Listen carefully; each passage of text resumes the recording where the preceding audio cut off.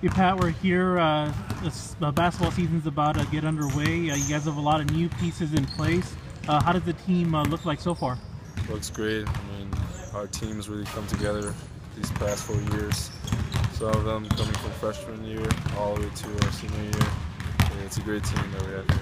You guys uh, have uh, three returners. Uh, what do you think's going to look different uh, with this year's team from last year? Uh, just mostly chemistry. You know, I mean, three is not a big number. I mean, some of the new guys have to get adjusted to our style of, style of game. You know, how we're gonna run up and down the court. You guys also have uh, what seems to be one of the taller teams in the valley. Uh, how do you guys hope to utilize uh, that height?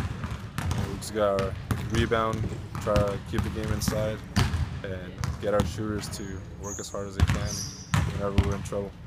Uh, last year, I think uh, you guys uh, lost to Harlingen South in the playoffs. So what are the goals this season, uh, just in trying to return back, uh, in trying to get back there?